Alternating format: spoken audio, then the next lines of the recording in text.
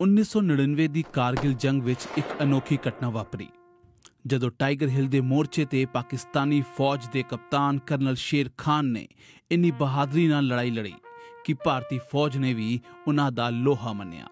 ਉਸ ਲੜਾਈ ਨੂੰ ਭਾਰਤ ਵੱਲੋਂ ਕਮਾਂਡ ਕਰ ਰਹੇ ਬ੍ਰਿਗੇਡੀਅਰ ਐਮ ਐਸ ਬਾਜਵਾ ਯਾਦ ਕਰਦੇ ਕਹਿੰਦੇ ਨੇ, ਜਦੋਂ ਇਹ ਜੰਗ ਖਤਮ ਹੋਈ ਤਾਂ ਮੈਂ ਇਸ ਅਫਸਰ ਦਾ ਕਾਇਲ ਸੀ। ਮੈਂ 71 ਦੀ ਜੰਗ ਵਿੱਚ ਲੜ ਚੁੱਕਿਆ ਹਾਂ। ਮੈਂ ਕਦੇ ਕਿਸੇ ਪਾਕਿਸਤਾਨੀ ਅਫਸਰ ਨੂੰ ਲੀਡ ਕਰਦੇ ਨਹੀਂ ਦੇਖਿਆ। ਬਾਕੀ ਸਾਰੇ ਪਾਕਿਸਤਾਨੀ ਕੁਰਤੇ ਪਜਾਮੇ ਵਿੱਚ ਸਨ। ਇਕੱਲੇ ਇਸਨੇ ਟਰੈਕ ਸੂਟ ਪਾਇਆ ਸੀ। ਹਾਲ ਹੀ ਵਿੱਚ ਕਾਰਗਿਲ ਤੇ ਇੱਕ ਕਿਤਾਬ, Kargil untold stories from the war ਲਿਖਣ ਵਾਲੀ ਰਚਨਾ ਬਿਸ਼ਟ ਰਾਵਤ ਦੱਸਦੇ ਨੇ। ਟਾਈਗਰ ਹਿੱਲ ਤੇ ਪੰਜ ਥਾਵਾਂ ਤੇ ਉਹਨਾਂ ਨੇ ਆਪਣੀਆਂ ਚੌਕੀਆਂ ਬਣਾਈਆਂ ਹੋਈਆਂ ਸਨ। ਪਹਿਲਾਂ 8 ਸਿੱਖ ਨੂੰ ਉਹਨਾਂ ਤੇ ਕਬਜ਼ਾ ਕਰਨ ਦਾ ਕੰਮ ਦਿੱਤਾ ਗਿਆ ਸੀ। ਪਰ ਉਹ ਉਹਨਾਂ ਤੇ ਕਬਜ਼ਾ ਨਹੀਂ ਕਰ ਸਕੇ। ਬਾਅਦ ਵਿੱਚ 18 ਗੈਨੇਡੀਅਰਸ ਨੂੰ ਵੀ ਉਹਨਾਂ ਦੇ ਨਾਲ ਲਾਇਆ ਗਿਆ। ਤਾਂ ਉਹ ਇੱਕ ਚੌਕੀ ਤੇ ਕਿਸ ਤਰ੍ਹਾਂ ਕਬਜ਼ਾ ਕਰਨ ਵਿੱਚ ਕਾਮਯਾਬ ਹੋਏ, ਪਰ ਕੈਪਟਨ ਸ਼ੇਰ ਖਾਨ ਨੇ ਇੱਕ ਜਵਾਬੀ ਹਮਲਾ ਕੀਤਾ। ਇੱਕ ਵਾਰ ਨਾਕਾਮ ਹੋਣ ਤੇ ਉਹਨਾਂ ਨੇ ਫਿਰ ਆਪਣੇ ਜਵਾਨਾਂ ਨੂੰ ਰੀਗਰੁੱਪ ਕਰਕੇ ਦੁਬਾਰਾ ਹਮਲਾ ਕੀਤਾ। ਜੋ ਲੋਕ ਇਹ ਜੰਗ ਦੇਖ ਰਹੇ ਸਨ, ਉਹ ਸਾਰੇ ਕਹਿ ਰਹੇ ਸਨ ਕਿ ਇਹ ਇੱਕ ਆਤਮਘਾਤੀ ਹਮਲਾ ਹੈ। ਉਹ ਜਾਣਦੇ ਸਨ ਕਿ ਇਹ ਮਿਸ਼ਨ ਕਾਮਯਾਬ ਨਹੀਂ ਹੋ ਸਕੇਗਾ, ਕਿਉਂਕਿ ਭਾਰਤੀ ਫੌਜੀਆਂ ਦੀ ਗਿਣਤੀ ਉਹਨਾਂ ਤੋਂ ਕਿਤੇ ਵੱਧ ਸੀ। ਬ੍ਰਿਗੇਡੀਅਰ ਐਮ ਐਸ ਬਾਜਵਾ ਕਹਿੰਦੇ ਹਨ, ਕੈਪਟਨ ਸ਼ੇਰ ਖਾਨ ਲੰਬਾ ਚੌੜਾ ਵਿਅਕਤੀ ਸੀ। ਉਹ ਬਹੁਤ ਬਹਾਦਰੀ ਨਾਲ ਲੜੇ। ਆਖਿਰ ਵਿੱਚ ਸਾਡਾ ਇੱਕ ਜਵਾਨ ਸਤਪਾਲ ਸਿੰਘ, ਜੋ ਕਿ ਜ਼ਖਮੀ ਪਿਆ ਹੋਇਆ ਸੀ, ਉਸਨੇ ਅਚਾਨਕ ਉੱਠ ਕੇ 10 ਗਜ਼ ਦੀ ਦੂਰੀ ਤੋਂ ਇੱਕ ਬਰਸ ਮਾਰਿਆ ਅਤੇ ਸ਼ੇਰ ਖਾਨ ਨੂੰ ਡੇਗਨ ਵਿੱਚ ਕਾਮਯਾਬ ਰਿਹਾ। ਸ਼ੇਰ ਖਾਨ ਦੇ ਡਿੱਗਦਿਆਂ ਹੀ ਉਹਨਾਂ ਦੇ ਹਮਲੇ ਦੀ ਧਾਰ ਵੀ ਚਲੀ ਗਈ।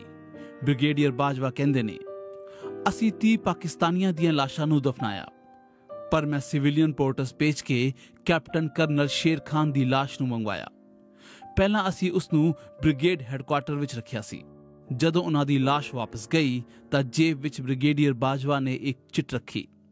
ਉਸ ਤੇ ਲਿਖਿਆ ਸੀ captain Karnal Sher Khan of 12 NLI has fought very bravely and he should be given his due ਯਾਨੀ ਕਿ ਕੈਪਟਨ ਸ਼ੇਰ ਖਾਨ ਬਹੁਤ ਬਹਾਦਰੀ ਨਾਲ ਲੜੇ ਅਤੇ ਉਹਨਾਂ ਨੂੰ ਇਸ ਦਾ ਕ੍ਰੈਡਿਟ ਮਿਲਣਾ ਚਾਹੀਦਾ ਹੈ ਕੈਪਟਨ ਕਰਨਲ ਸ਼ੇਰ ਖਾਨ ਦਾ ਜਨਮ ਉੱਤਰੀ ਪੱਛਮੀ ਸਰਹੱਦੀ ਖੇਤਰ ਦੇ ਇੱਕ ਪਿੰਡ ਨਵਾਂ ਕਿਲੇ ਵਿੱਚ ਹੋਇਆ ਸੀ ਉਹਨਾਂ ਦੇ ਦਾਦਾ ਨੇ 1948 ਵਿੱਚ ਕਸ਼ਮੀਰ ਮੁਹਿੰਮ ਵਿੱਚ ਹਿੱਸਾ ਲਿਆ ਸੀ ਉਹਨਾਂ ਨੂੰ ਵਰਦੀ ਪਾਏ ਹੋਏ ਜਵਾਨ ਪਸੰਦ ਸਨ ਜਦੋਂ ਉਹਨਾਂ ਦੇ ਇੱਕ ਪੋਤੇ ਦਾ ਜਨਮ ਹੋਇਆ ਤਾਂ ਉਸ ਦਾ ਨਾਮ ਉਹਨਾਂ ਨੇ ਕਰਨਲ ਸ਼ੇਰ ਖਾਨ ਰੱਖਿਆ ਸੀ।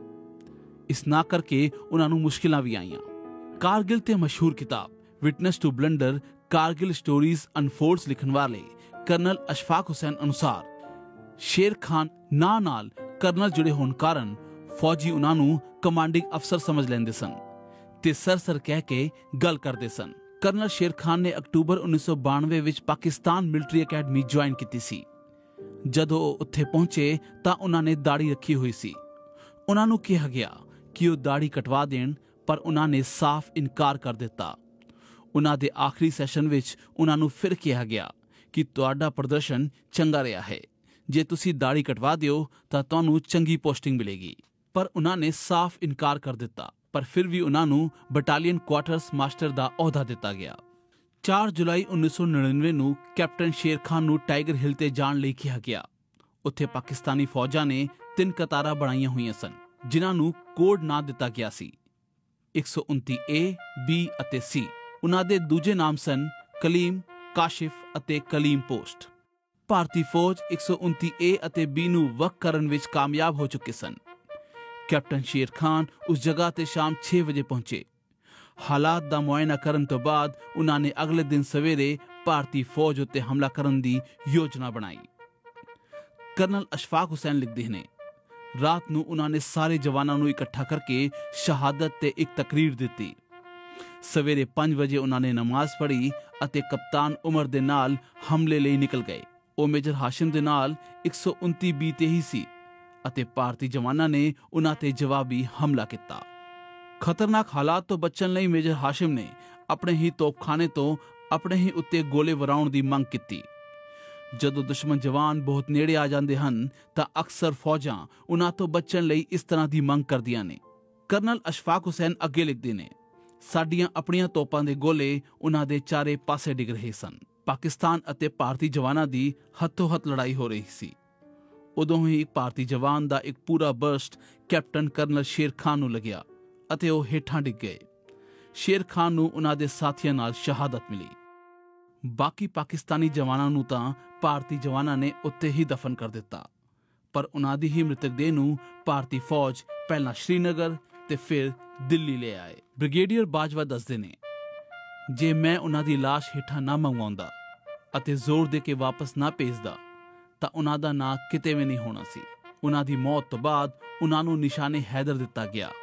ਜੋ ਪਾਕਿਸਤਾਨ ਦਾ ਸਭ ਤੋਂ ਵੱਡਾ ਬਹਾਦਰੀ ਦਾ ਪੁਰਸਕਾਰ ਹੈ ਅਤੇ ਸਾਡੇ ਪਰਮਵੀਰ ਚੱਕਰ ਦੇ ਬਰਾਬਰ ਹੈ। ਬਾਅਦ ਵਿੱਚ ਉਹਨਾਂ ਦੇ ਵੱਡੇ ਭਰਾ ਅਜ਼ਮਤ ਸ਼ੇਰ ਨੇ ਇੱਕ ਬਿਆਨ ਦਿੱਤਾ। ਅੱਲਾਹ ਦਾ ਸ਼ੁਕਰ ਹੈ ਕਿ ਸਾਡਾ ਦੁਸ਼ਮਣ ਵੀ ਕੋਈ ਬੁਜ਼ਦਿਲ ਦੁਸ਼ਮਣ ਨਹੀਂ ਹੈ। ਜੋ ਲੋਕ ਕਹਿਣ ਕਿ ਇੰਡੀਆ ਬੁਜ਼ਦਿਲ ਹੈ, ਤਾਂ ਮੈਂ ਕਹਾਂਗਾ ਨਹੀਂ, ਕਿਉਂਕਿ ਉਸਨੇ ਐਲਾਨਿਆ ਕਿ ਕਰਨਲ ਸ਼ੇਰ ਹੀਰੋ ਹਨ।